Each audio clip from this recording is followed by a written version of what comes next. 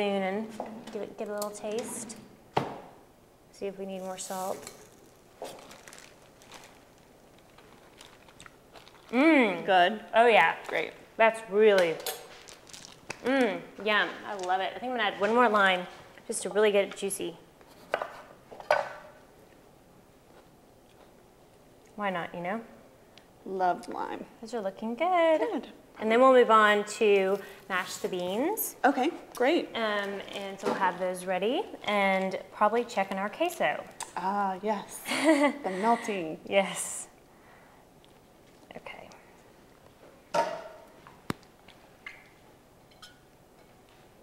Okay, well that is ready to go once we get our black beans mashed. So we are set, which is one of the great things about having a dinner party. The more you can do before, Oh. you know, have prepared in advance. That way when everyone gets here and is hungry and starting to eat, you can just pop it all together. Right, yeah, you're right. And enjoy everything too. So this is ready to go.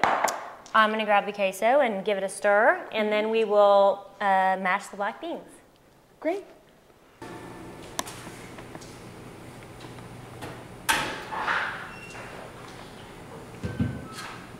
Ooh, that is looking good. Okay, so now I'm gonna start mashing the black beans, and they're already made black beans, canned again. So this is, um, we're definitely taking advantage of the, the quick, quick and easy. Yes, take the help where you can get it. Right, yeah. Because, you know, when you're cooking for a crowd, you got to take a few shortcuts. Yes. So I've got a nice um, jar of black beans, and I've drained the liquid so it's not too liquidy, Okay. but I did save the liquid. So in case it gets a little too thick, we can just add the liquid back. Ah, So we're just going to start kind of mashing that up with a potato masher. You just want a nicely mashed black beans, and it's kind of like refried beans, but without the fat. so, so you can have extra right, cheese and guacamole. exactly. Cut calories where you can.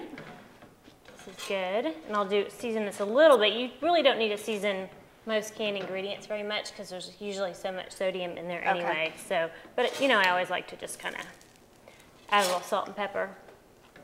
And this is a great arm workout, by the way. Yeah, I can tell. More cheese and guacamole. That's right. really, after I cook for a, like a big, huge cooking event or something like that, I mean, I am sore. It's like I'm not working out now. Working hard. Yeah. Those are looking great. Yeah, they're Good. turning out well. Great. Well, I know we're gonna have some hungry eaters Yes. arriving any minute now. Great. All right. They're almost ready to go. Mm, they look really creamy. Yeah. And I don't even think we need any juice. They look plenty, uh, as you said, creamy. and you don't want it too creamy because you want it to stay on that torta Oh, nicely. right. So Yes. You want to grab me a spoon, which is right in that first drawer right there, Great. we will go ahead and serve one up. Try it. You always got to try it. That's right. Okay. Great. Good. And like I said, I would do, I have a tiny bit of salt and pepper. I love my new electric pepper grinder. You can set it, Fun toys. yes, set it to the fine setting for that one. And let's see here, I'm gonna grab a spatula to make sure I got not burning any on the bottom.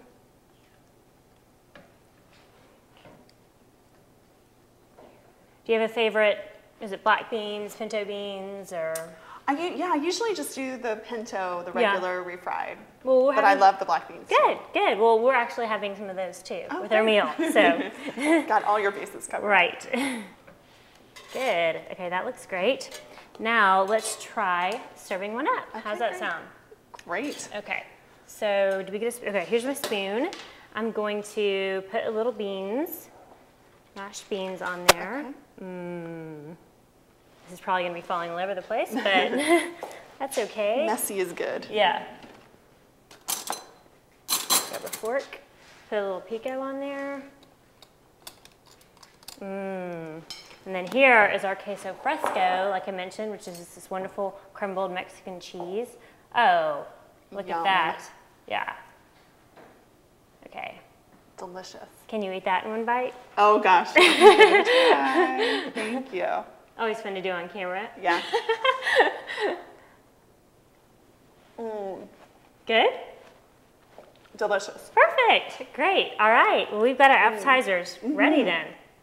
And we've got our rice, we've got our queso, and I think we're about finished. Great. So just Time wait for the rest of our, yeah.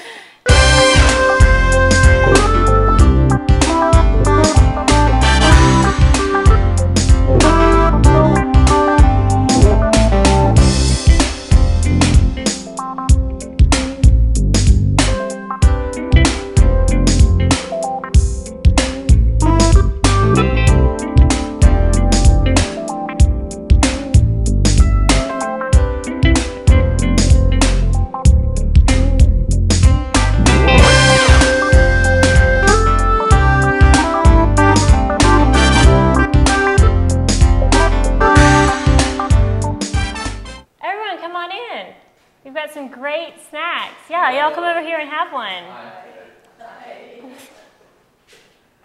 How are you doing? Good to see you. Thanks so much for coming. Ooh, uh, and wonderful. Hi. Perfect. Good to see you. This looks will be great with our chips. Well, Absolutely. yo, hey Ryan, would you like to try a appetizer? Thank you. I'd love Good. to. These look great. Good, good. Hope you like them. David, I know you were eyeing that queso too.